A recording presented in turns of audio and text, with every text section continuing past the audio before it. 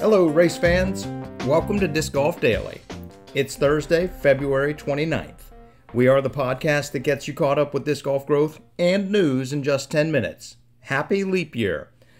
If you find something interesting, share the podcast with a friend. Today is the Unified Rankings of Disc Golf Day. We call it Urge Day.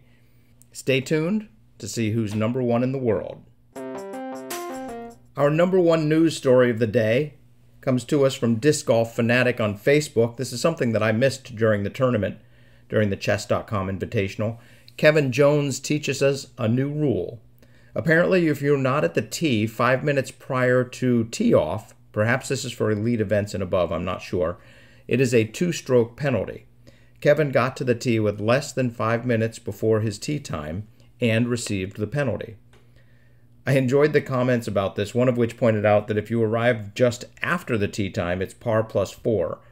If you show up before the tee time, but within that five minutes, it's a two stroke penalty. If you obviously show up early enough before that five minutes, it's no penalty. So that five minutes uh, before the tee has a, a progressive penalty structure.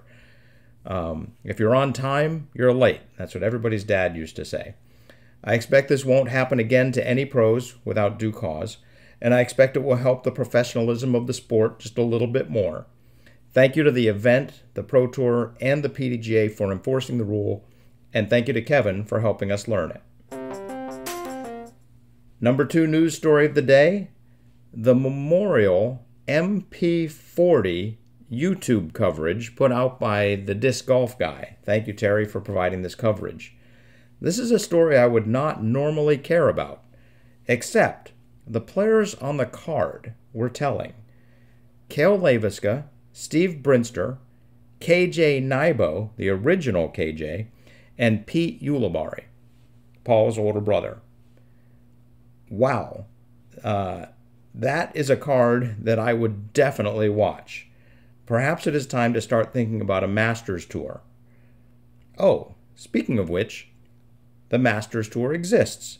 Let's hope it grows into something super special. They're in Alabama this week. Links in the show notes to all of those and our next story. The Infinite Discs blog looks a lot like the players' meeting email. Charlie at the players' meeting does a really great job. This is a, a disc golf email newsletter. He sends it out twice a week during the season. He breaks down the happenings in disc golf. Honestly, I feel like I could just read his work to you all and do a better job than I do. But hey, I'm trying, so here I go. Anyway, the interesting piece about this is that the Infinite Discs blog, which I think is one of the best store blogs out there, has posted the players' meeting email as their own blog, or as a part of their blog. I reached out to Charlie, and this is what he said quote, it's a new partnership we're trying out. I want to get my hard work newsletter in front of more people, and Infinite wants to diversify its blog content with tour coverage. With these quote snippets hosted on their site, the hope is to have them promote it to their large audience and bring more subscribers to my list. Win win.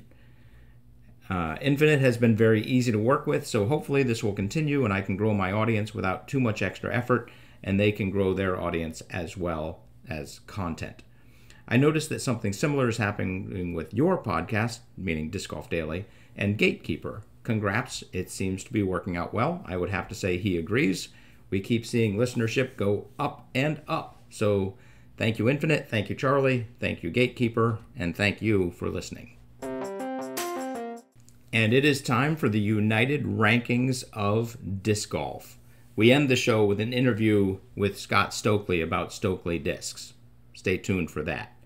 But so we take five world ranking systems and one power ranking system, put them all together, and create our unified rankings of disc golf. Urge.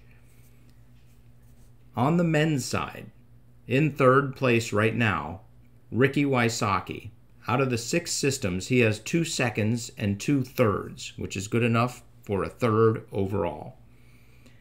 Eagle McMahon has one first, two seconds, and one third, putting him in second place in our United rankings. And Calvin Heimburg has four firsts and one second, making him the United Rankings champion. Calvin Heimburg is the best disc golfer on the planet right now. On the women's side, Missy has three thirds. She is in third place. Ohn has five seconds into third. She is in second place. And Kristin Tattar has five firsts. The one first she doesn't have, just so you know, is the power rankings, which Eveliina leads because she just won. That's how power rankings work. Uh, Holland and Hanley also are in the conversation as well. On the men's side, Paul McBeth, Anthony Barela, and Aaron Gossage are also in the conversation. And there you have it for our United Rankings of Disc Golf. Stay tuned for my Q&A with Scott Stokely. Scott Stokely has a, had a very interesting career in disc golf. I'm not going to go through it all, but suffice it to say, he's when I started playing the sport, he was one of the people that I looked up to and said, he's one of the best. And 30 years later, he is still going at it, and we had the opportunity to interview him about his new line of golf discs. Question number one You say, quote, I am manufacturing discs. You also say, quote, we own. Do you want to share if you have financial backers and what percentage of the company you own? Scott's reply Yes, I have financial backing, but it is my company. Every decision made is made by me. I have help with the molding and disc design, but it is my company. It will sink or swim based on the decisions I make. I love the ownership, well, that he has and that he is taking. Um, it's not always easy to recognize that when things don't work, the guy sitting in the top seat is the reason. Question two I love the logo. Do you want to give a shout out to the designer? Scott's reply Justin Longo made the graphic design, and I promised to make a separate video about the, how the logo was developed. Well done, Scott and Justin. I look forward to that video. Question three how are these discs related to the marijuana themed discs that you made maybe a decade ago? Scott's reply Regarding the older discs that were released and I was involved with, I've spent eight or nine years trying to distance myself from that not so good idea that I had. He did take ownership of him having that idea. I'm not changing my stance on what I believe about liberty and freedom and how good that industry has been, but I want to distance myself from that and it's not anything I want to be a part of. That's not who I am. So, those old gateway discs, I'm guessing, are not really a part of the equation anymore. And I'm also guessing that these discs are not made by Gateway. Question four, I had to ask it How far do you throw these discs? Scott's reply I don't throw them very far. They are a putter and a mid range, and I am a senior citizen. It is a perfect storm of not throwing far. But I am still me, I guess. So I throw the putter over 300 feet easily and could get it to 350. I throw the mid over 400.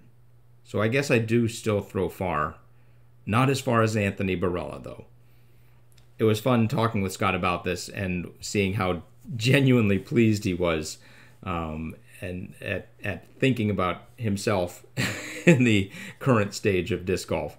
Um, yeah, it's hard to, to throw 700 feet when you're 50.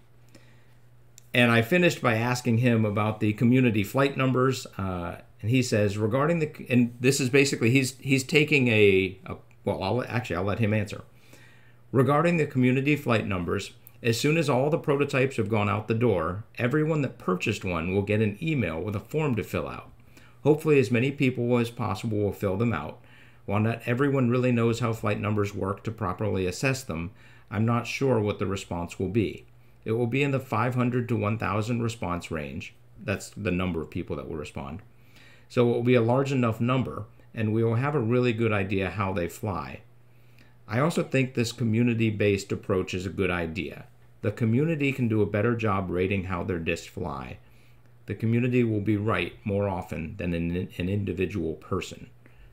I've also wanted it to do this way. I, I swear by doing it this way, and now I get to because it's my company. I think that was a great way to finish, and I thank you very much, Scott, for taking the time to answer my questions. StokelyDiscs.com, check them out. I'm excited uh, to see how this goes. That's it for Disc Golf Daily. If you have any news, thoughts, or opinions you'd like to share, email us at discgolfdaily at AOL.com. Have fun, throw them straight, and hit the thin gap.